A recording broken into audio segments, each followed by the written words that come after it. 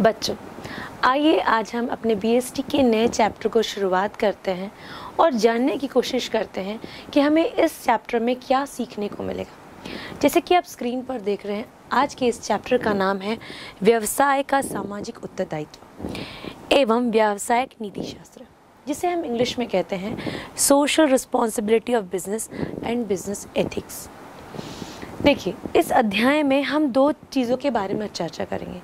पहली होगी कि सोशल रिस्पॉन्सिबिलिटी ऑफ़ बिज़नेस क्या है और ये बिज़नेस एथिक्स होता क्या है। तो हम शुरुआत करेंगे सोशल रिस्पॉन्सिबिलिटी होती क्या है उसको समझने से और उसके पश्चात हम जाएँगे बिज़नेस की ओर। सोशल रिस्पॉन्सिबिलिटी अगर हम अपने रोज़मर्रा के जीवन में देखें तो हम हमारा एक अपना जो है सोशल रिस्पॉन्सिबिलिटी है. एज ए ह्यूमन बींग या हम एक कह सकते हैं, हम मनुष्य हैं और समाज के प्रति हमारा कोई ना कोई एक रिस्पॉन्सिबिलिटी है या उत्तरदायित्व है. समाज में ऐसे कई प्रकार के लोग पाए जाते हैं जिन्हें हेल्प यानी मदद की आवश्यकता होती है.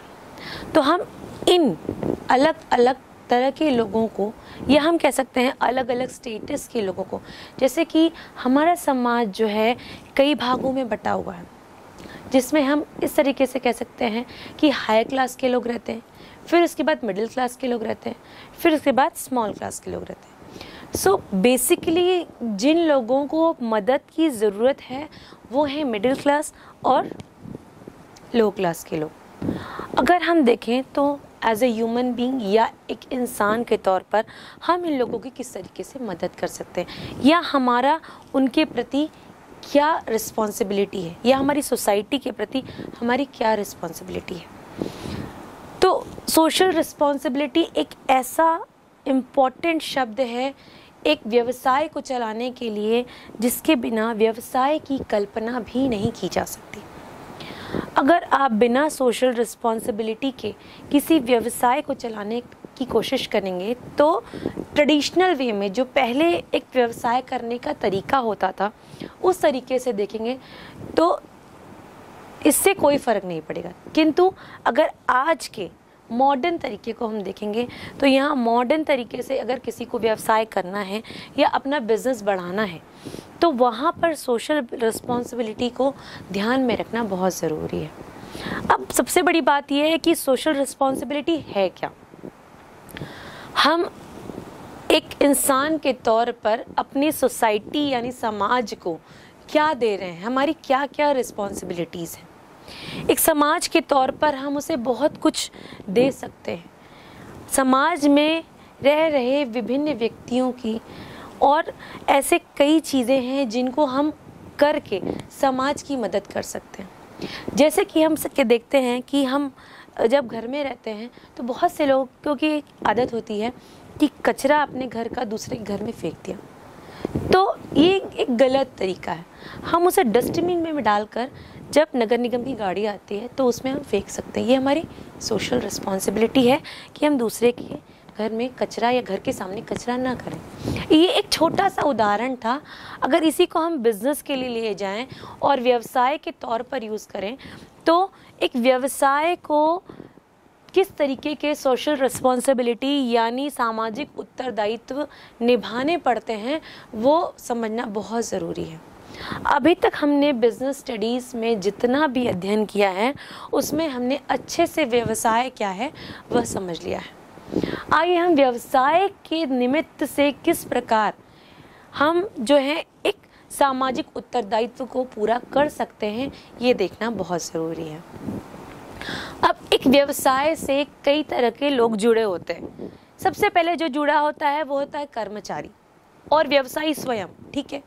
उसके बाद आते हैं पूर्तिकर्ता, फिर उसके बाद आते हैं प्रतियोगी और सबसे उच्च स्थान जिसको दिया गया है, उसे हम कहते हैं कस्टमर यानी उपभोक्ता, और उसके बाद आता है सरकार। तो ये इतने सारे लोग अलग अलग तरह के जो लोग हैं, आप जो स्क्रीन पर देख रहे हैं, जो मैंने एक सर्कल के माध्यम से समझाने की कोशिश की है कि कौन कौन से लोग जो हैं, इस व्यवसाय के सोशल रिस्पॉन्सिबिलिटी से यानी सामाजिक उत्तरदायित्व से जुड़े हुए हैं, या फिर किसी भी बिज़नेस का किन किन लोगों के लिए एक सोशल रिस्पॉन्सिबिलिटी है।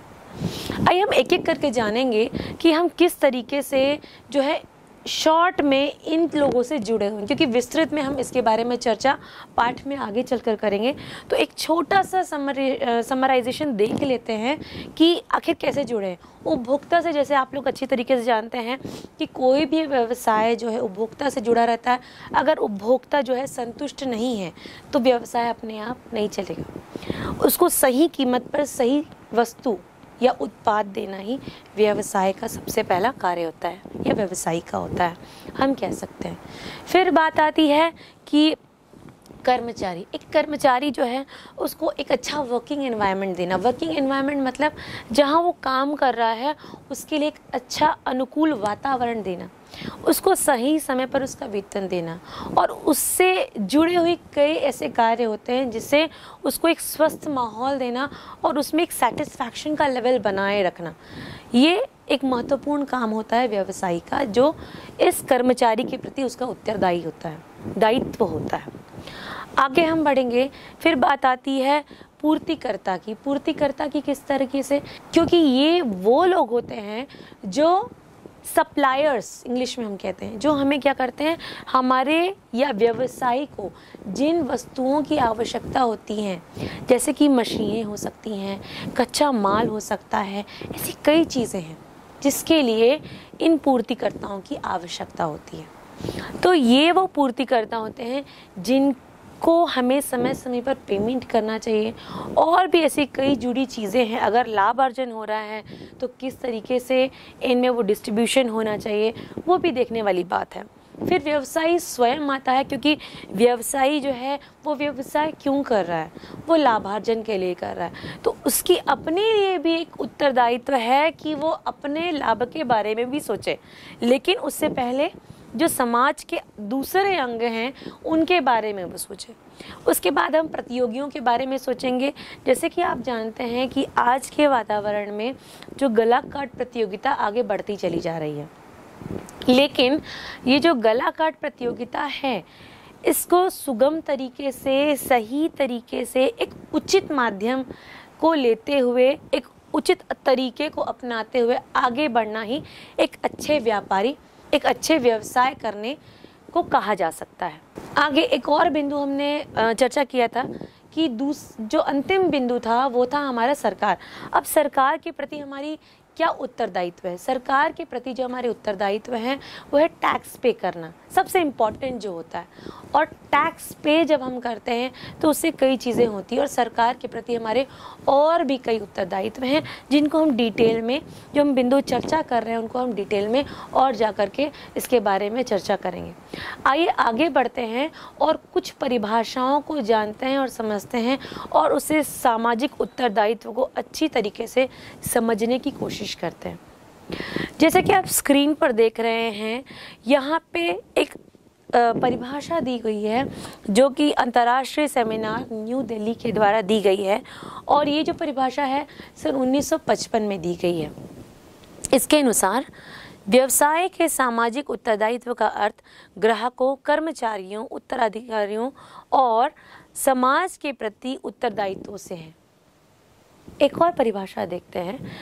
उस परिभाषा के अनुसार, एच आर बावन, व्यवसाय के सामाजिक उत्तरदायित्व का अभिप्राय, उन नीतियों का अनुसरण करने, उन निर्णयों को लेने तथा उन कार्यों को करने से है, जो हमारे समाज के लक्ष्यों तथा मूल्यों की दृष्टि से वांछनीय है। अगर हम इसका एक निष्कर्ष निकालें तो व्यवसाय का एक सामाजिक उत्तरदायित्व जो होता है, वो व्यवसाय से जुड़े हुए विभिन्न उनके अंगों के लिए होता है। जितने अलग अलग लोग उनसे जुड़े हुए हैं, जिन भी कारणों से जुड़े हुए हैं, उन सभी के प्रति उसका एक उत्तरदायित्व तो होता है। जैसे कि हमने इसके पहले आपको एक छोटा सा डिस्क्रिप्शन दिया, उसमें एक छोटी सी जानकारी आपको मिली है।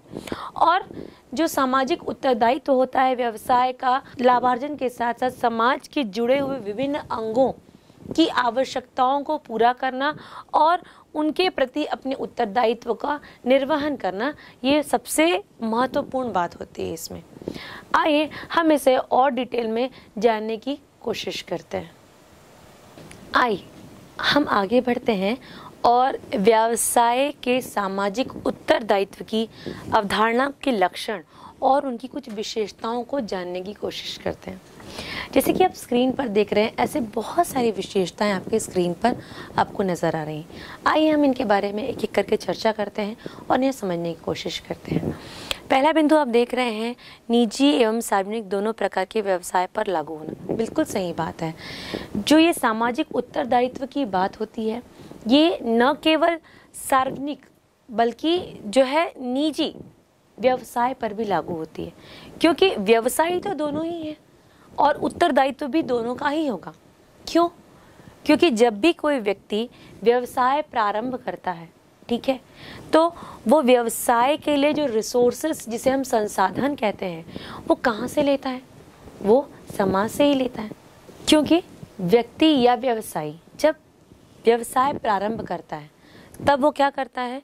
जो व्यवसाय के लिए रिसोर्सेस या संसाधन जिसे हम कह रहे हैं, वह समाज से ही लेता है। है ना? तो चाहे वो निजी व्यवसायी हो या सार्वजनिक, दोनों ही प्रकार के व्यवसायी अपने व्यवसाय को प्रारंभ करने से लेकर के उसको अच्छे तरीके से चलाने तक के लिए समाज से ही कुछ ना कुछ ले रहे हैं। तो उन दोनों का दायित्व बनता है कि वो वापस में समाज को कुछ ना कुछ दें। आप लोगों ने कई उदाहरण देखे होंगे कि बहुत बड़े बड़े बिजनेसमैन क्या करते हैं? ट्रस्ट के नाम पर बहुत सारा दान करते हैं। बहुत बड़े बड़े स्कूल्स चलाते हैं, जिन्हें कम फ़ीस पर वो बच्चों को क्या करते हैं? एडमिशन देते हैं और साथ ही साथ उनको एजुकेशन भी देते हैं। और ऐसे कई एन को वो रन करते हैं, जहाँ पर ऐसे गरीब परिवार के लोगों या जिनके पास रोज़गार नहीं है, उन लोगों को रोज़गार प्रदान करने की कोशिश करते हैं। तो ये दोनों ही व्यवसायियों का कर्तव्य है, क्योंकि वो समाज से ही सब कुछ ले रहे हैं। तो समाज को ही उनको वापस करना है। तो चाहे वो निजी व्यवसायी हो या चाहे सार्वजनिक व्यवसाय। दूसरे बिंदु की ओर चलते हैं। दूसरा बिंदु कहता है कि व्यक्तिगत एवं सामाजिक हितों में सामंजस्य रखना। बिल्कुल, हम जब व्यवसाय कर रहे हैं तो हमारा जो मुख्य उद्देश्य है वो यही है कि हम जो है, लाभार्जन करें। ठीक है? यहाँ हमने अपने हित के बारे में सोचा। ये गलत नहीं किसी भी तरीके से। एक व्यवसायी अगर अपने हित के बारे में सोचता है तो ये गलत नहीं है, बिल्कुल। वो हित नहीं कमाएगा, वो लाभ नहीं कमाएगा तो उसका व्यवसाय आगे कैसे बढ़ेगा, है कि नहीं? लेकिन अगर वो यही काम इस तरीके से करे कि सामाजिक हितों को दरकिनार कर दे या उसकी उपेक्षा कर दे, या उसको अनदेखा कर दे। अगर हम सिंपल वर्ड्स में कहें तो उन, इन चीज़ों को करके अपने हित के बारे में सिर्फ़ सोचे तो ये चीज़ गलत हो जाएगी। तो जो, जैसे कि दूसरा बिंदु कह रहा है कि व्यक्तिगत हित को भी ध्यान देना है और दूसरा सामाजिक हित को भी ध्यान देना है। और उसके बाद ही जो है, इन दोनों के बीच सामंजस्य स्थापित करके फिर व्यवसाय को आगे बढ़ाना है। तीसरा बिंदु है सामूहिक एवं सामाजिक संस्था। सामूहिक एवं सामाजिक संस्था का भी यही उत्तरदायित्व होता है कि वो लोगों को रोज़गार प्रदान करे। साथ साथ ऐसे कई कार्य करे जिससे कि लोगों को उसका अलग अलग रूप से फ़ायदा मिले। ठीक है? चौथा बिंदु कहता है द्विमार्गीय प्रक्रिया। यह एक द्विमार्गीय प्रक्रिया है, क्योंकि हम क्या है, किसी को व्यवसाय को प्रारंभ करने के लिए हम समाज से ही सारे संसाधनों को ले रहे हैं। तो ये एक मार्ग हो गया। तो हमें समाज को ही वापस करना है। समाज में रहने वाले लोगों को हम क्या करना है, मदद करनी है उनकी। उनकी कुछ ऐसी आवश्यकताएँ हैं जो पूरी नहीं हो पा रही हैं। तो हमें उन्हें पूरी करनी है। हमें उन्हें कुछ ऐसे संसाधन देने हैं, उनकी कुछ ऐसी आवश्यकताओं को पूरा करना है जो कि नहीं हो पा रही। जैसे कि एक अच्छा हॉस्पिटल बनवा दिया छोटे छोटे स्कूल्स ओपन कर दिए, जिसमें कम फ़ीस पे बच्चों को अच्छा एजुकेशन मिल जाएगा।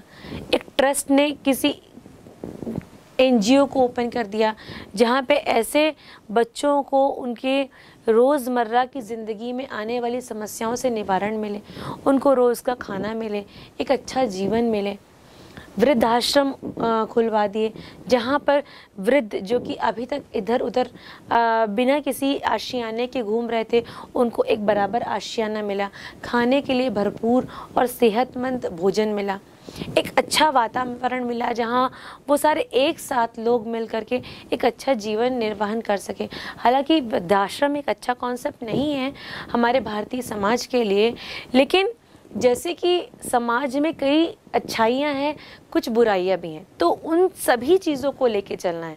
तो उन सभी चीज़ों को लेकर के एक व्यवसायी को अपने उत्तरदायित्वों का निर्वहन करना जैसे कि मैंने कई एग्ज़ाम्पल या कई उदाहरण दिए हॉस्पिटल खुलवाना। विद्यालय खुलवाना एन चलाना, उसी तरीके से वृद्धाश्रम चलाना। ऐसे कई कार्य हैं जो कि एक व्यवसाय को करना चाहिए। अतः हम कह सकते हैं कि द्विमार्गी प्रक्रिया, क्योंकि समाज से ही हम ले रहे हैं और समाज को ही हमें उसका कुछ भाग, व्यवसाय से अर्जन किए गए लाभ से कुछ भाग हमें क्या करना है? उन्हें वापस करना है। पांचवा बिंदु कहता है, विभिन्न पक्षकारों का सर्वांगीण विकास। इस बिंदु में हमने जो विभिन्न पक्षकारों के बारे में आपसे चर्चा की थी, जैसे कि उपभोक्ता हुए, कर्मचारी हुए, व्यवसायी स्वयं हुआ, सरकार हुआ, प्रतियोगी हुए, पूर्तिकर्ता हुए, इन सभी लोगों के प्रति भी व्यवसाय का उत्तरदायित्व होता है। वो किस तरीके से हुआ था, मैंने बहुत ही छोटे से में आपको समझाया था। आगे बढ़ते हैं। फिर देखते हैं इसका छठवा बिंदु। छठवा बिंदु कहता है, व्यावसायिक सफलता का आधार। जो सामाजिक उत्तरदायित्व है, जो व्यवसाय इस सामाजिक उत्तरदायित्व का निर्वहन करता है। ठीक है? ये उनके व्यावसायिक सफलता का आधार बनता है। जैसे कि आप टाटा अंबानी को जानते हैं। इन्होंने कई ऐसे कार्य किए हैं। अगर आपने न्यूज़पेपर में पढ़ा होगा, ऐसे कई कार्य किए हैं, जिसकी वजह से ये आज इतने फ़ेमस हैं। केवल अपने उत्पाद के लिए नहीं या उनकी उत्पाद की क्वालिटी को लेके लिए ही नहीं, बल्कि इन्होंने ऐसे कई कार्य किए समाज के लिए जिस वजह से इनका नाम लिया जाता है। अगर आप उनके एंटरप्राइज में या उनकी ऑर्गेनाइजेशन में, संस्था में जाकर चर्चा करें, मैंने एक लेख में पढ़ा था कि टाटा अंबानी जो संस्था चलाते हैं या टाटा इंडस्ट्रीज़ की बात करें, वहाँ पर जो कर्मचारी हैं वो सबसे ज़्यादा सेटिस्फाइड कर्मचारी पाए जाते हैं। क्योंकि उनके जो सीईओ हैं वो हमेशा ध्यान रखते हैं कि समय के अनुसार कर्मचारियों की आवश्यकता क्या है। और वो समय के अनुसार उनकी आवश्यकताओं को पूरा करने की कोशिश करते हैं जितनी वो कर सकते हैं। सो so, ऐसा कार्य करना जिससे कि समाज में उनका एक सर्वांगीण विकास हो सके है ना? समाज में लोग उनको जाने साथ साथ समाज का भी विकास हो सके। आगे बढ़ते हैं। सातवा, जिसे सतत प्रक्रिया है। अब ये जो हम बात कर रहे हैं, सामाजिक उत्तरदायित्व की, ये एक बार करके रख दिया, ऐसा नहीं है। इसको हमें सतत कंटिन्यूस करना पड़ता है। हम कुछ ना कुछ एक एज ए व्यवसायी, एक व्यवसाय के तौर पर हमें ये कार्य जो है निरंतर करना पड़ता है। सतत प्रक्रिया का इंग्लिश मीनिंग होता है कंटिन्यूस प्रोसेस जब कंटिन्यूस प्रोसेस कह रहे हैं, सतत प्रक्रिया कह रहे हैं तो हमें ये काम निरंतर करना पड़ेगा। किसी भी स्कूल के ट्रस्टी बन जाओ, ठीक है? किसी हॉस्पिटल के ट्रस्टी बन जाओ मतलब ट्रस्ट में वो स्कूल चल रहा है या कोई हॉस्पिटल चल रहा है, जिसमें निरंतर आप कुछ ना कुछ दान धर्म कर रहे हैं, जिस वजह से वहाँ कई ऐसे लोग हैं जिनकी मदद आप कर रहे हैं। तब यह हम सामाजिक उत्तरदायित्व का निर्वहन कर रहे हैं। हम बहुत अच्छे शब्दों में कह सकते हैं। तो इस प्रकार से हम कह सकते हैं कि जो व्यवसाय के जो सामाजिक उत्तरदायित्व हैं, वो एक सतत प्रक्रिया के अंतर्गत आते हैं, है ना? आठवां बिंदु है, वो कहता है कि सामाजिक शक्ति प्राप्त करने के साधन। अब ये जो होते हैं, सामाजिक शक्ति प्राप्त करने के साधन भी होते हैं। क्योंकि जैसे कि मैंने इसके पहले के बिंदु में कहा था कि ये व्यावसायिक सफलता का आधार बनते हैं। तो बिल्कुल, अगर आप फ़ेमस हो गए, आप बहुत बड़ा ब्रांड नेम हो गए हैं, ठीक है? तो आपको बहुत लोग जानते हैं। आप एक समाज की शक्ति बन गए हैं, एक इन्फ्लुएंसर की तरह काम करते हैं।